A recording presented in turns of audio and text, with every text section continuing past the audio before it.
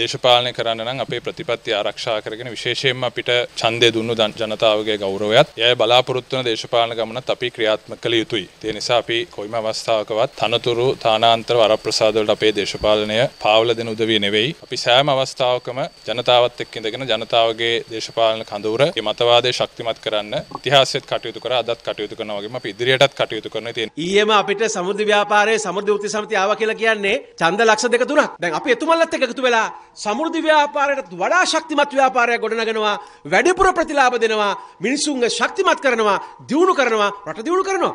ජාතික ජනබලවේග විසින් පහර දේ යයි හැඟෙන ලෙසට පුද්ගල නාම ලේඛනයක් හදලා ප්‍රසිද්ධ කරන ගම්වල මෙන්න මේ ඇයට ගහන්න ඉන්නේ කියලා. ඒක යවන්නේ සජමේ.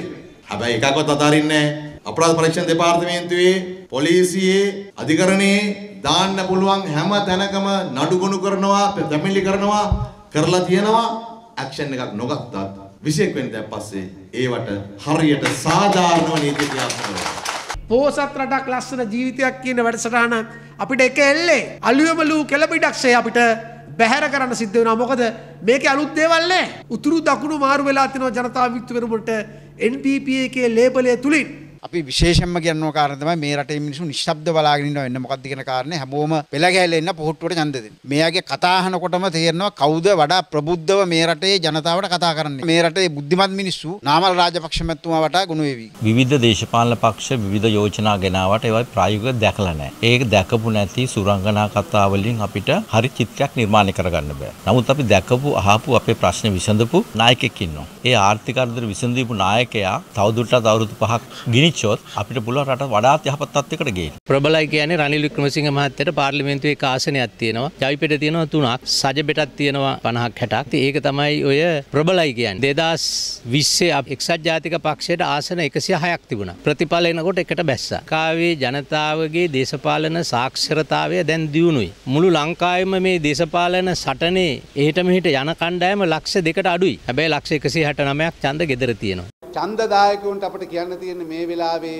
ප්‍රශ්නය රටට කියන නායකයෝ දිහා නෙවෙයි උත්තරේ රටට කියන නායකයෝ දිහා බලන්න. නායකයෝ අද ඉන්නවා ප්‍රශ්නය කියනවා. අනුර කුමාර දිසානායක මහත්තයා අපට ඇඬෙන්න ප්‍රශ්නේ කියනවා. ප්‍රශ්නේ දැන් අහලා අහලා අපේ කම්පිරලා තියෙන්නේ. මේ සීන ලෝක විතරයි. දැන් එදා බාර නොගත්ත ජනාධිපතිකම ඇයි දැන් ඉල්ලන්නේ? හරි පුදුම කතාවක්නේ. අද සර්ජිත් ප්‍රේමදාස මහත්තයා කියන්නේ මම උදේ ඉඳලා රැ වෙනකම් මැරෙනවා කියලා. ওই මැරෙන්න මොකක්වත් ඕනේ නැහැ. දැන් නිකන් දුන්නේ. ගිහිල්ලා වාඩි වෙලා ෂෝක් එකේ සුදු සූට්ටයක් ගැහුවා නම් ගිහිල්ලා ජනාධිපති මන්දිරේ වාඩි වෙන්න තිබුණා. එදා තිබුණ රට නෙවෙයි අද තියෙන්නේ. රටක ව්‍යසනයක් ආපු වෙලාවට නැගී හිටලා ඒ වගකීම් බාර ගන්න කට්ටිය තමයි රටක නායකයෝ කියන්නේ. විශේෂයෙන්ම අනුර කුමාර සානක මහත්තයා අපිට චෝදනා නගනවා. ඒ චෝදනා නගන එතුමා එතුමාගේ කලිසම කාගෙන් හරි අරගෙන, එතුමාගේ ඇඳුම් කාගෙන් හරි අරගෙන, ඔරලෝසුව කාගෙන් හරි අරගෙන. මම අභියෝගයක් කරනවා. JVP එකේ පුළුවන් නම් දියුරුම් ප්‍රකාශයක් එක දෙන්න හම්බ කරලා තියෙන සල්ලි මේ මැතිවරණයට විතරක් නෙමෙයි. අනෙකුත් සල්ලි කොහෙන්ද මේ JVP එකට ඇවිල්ලා තියෙන කියන එක ඔප්පු කරන්න කියලා කියන්නේ. ඔයා ඔයාලගේ නායකයා සජිතුත් දූෂිතයිනේ. සජිත්ගේ නංගි හොරපන් 10 කොලත් එක්ක අහු වුණාද නැද්ද? හැබැයි මතක තියාගන්න ජාතික ජනබලවේගයේ බලයක් යටතේ ඔය හොරපන් 10 කොල මිලියන දෙකේ නඩුව ආපහු ගන්නවත් ගන්නවත් ගන්නවම තමයි ආදරණීය මේ තාත්තේ සහෝදරයා සහෝදරයා. අපිට ආන්න ඕනේ ප්‍රේමදාස පහුලෙන්. උඹලට කොහෙන්ද මේ හොරපන් 10 කොල ආවේ කිය. නීතිය පොඩ්ඩන්ට ලොක්කන්ට මිනි මරලා ශ්‍රේෂ්ඨාධිකරණයෙන් මරණීය දඬුවම දුන්නත් ජනාධිපති අස්තන ගහලා එළියට දාලා ඌට ඇමතිකම් දෙන රටක් පිරිවුණු රටක්.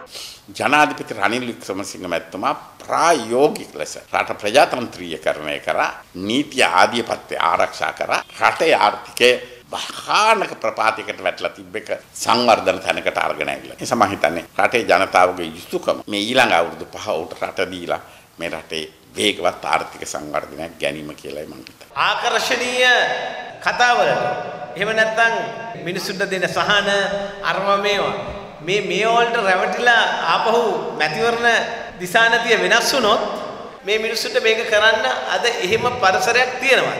වැරදි තීන්දුව තියෙන ගත්තොත් එහෙම මිත්‍රවරුනි අපි ආපහු කබලින් ලිපට වැටෙනවා. වෙනස වැරදි විදියට සිදු වුණොත් අපේ රටේ අධිකරණයට උත්තරීතර නීතියට නීතිය ක්‍රියාත්මක වීමට හැකිවිය හැකි බලපෑම් පිළිබඳව ජනතාවට අවබෝධයක් ලබා දීම අපි හැමදෙනාගේම වගකීම. බැසිල් රාජපක්ෂ මැත්තුමා තමයි ඩොලර් බිලියන 4.5ක ක්‍රෙඩිට් ලයින් එක අරගෙන එන්නේ. ඒකෙන් තමයි පළවෙනියටම තෙල් ටික ලංකාවට අරගෙන එන්නේ. ඩොලර් ටික හොයලා අවශ්‍ය මුදල් ටික හොයලා තමයි එදා රනිල් වික්‍රමසිංහ මැතිතුමාට රට බාර දුන්නේ. එතුමාට තිබුණේ ගෙනාපු තෙල් ටික බෙදන්න, ගෙනාපු ගෑස් ටික බෙදන්න, ගෙනාපු බෙහෙත් ටික බෙදන්න පමණයි. අද වෙනකනුත් බෙහෙත් ටික ගේන්නේ එදා බැසිල් රාජපක්ෂ මැතිතුමා හොයලා දීපු ක්‍රෙඩිට් ලයින් එක. අසුහතේ අසුවටේ මිනිමරුපු බෙලිකපපු ගිනිතියපු ජනතා විමුක්තිය පෙරමුණේ අනුර කුමාර නැවත බලයට ගේන්න ඕනි බලය ගත යුතුයි කියලා උගත්භාවය නිසා වියත්භාවය නිසා තාරුන් නිසා කියනවන. අයි රටේ රටේ ඊළඟ පැවැත්ම පිළිබඳ අපි හිතන්න ඕන. අපි ඉදිරිපත් කළ කරන දේවල් අනිත් අය ඩුප්ලිකේට් කරලා වැඩේ කරලා තියෙන එක තමයි පේන්න තියෙන්නේ. ඉතින් අපි සතුටුයි අඩුගානේ අපි ආරම්භ කරපු වැඩපිළිවෙල එදා hina වෙලා බැනපු අය අද එමේකම ඉදිරියට කටයුතු කරගෙන යන එක. රට ගෙනියන්න පුළුවන් එකම පළපුරුද්දක් තියෙන නායකයා තමයි රනිල් වික්‍රමසිංහ. Música